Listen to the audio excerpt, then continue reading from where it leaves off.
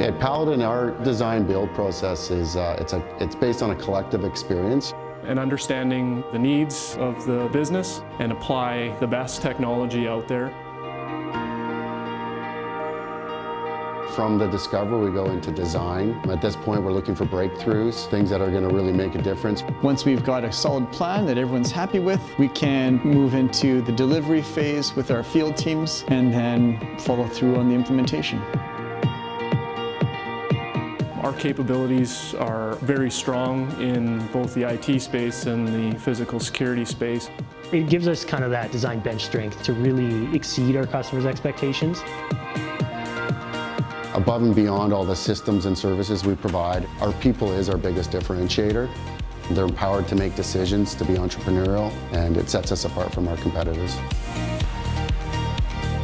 Everyone's really motivated and works hard, and you can see there's passion in what we do here. That passion just builds on itself, and as we solve more problems, we, we get more energized and we do bigger and better things. Being able to make an impact on the end user's operations. No day is the same, so there's no shortage of different challenges. Having the experience and the depth to be able to handle those challenges is really key to choosing the right integrator.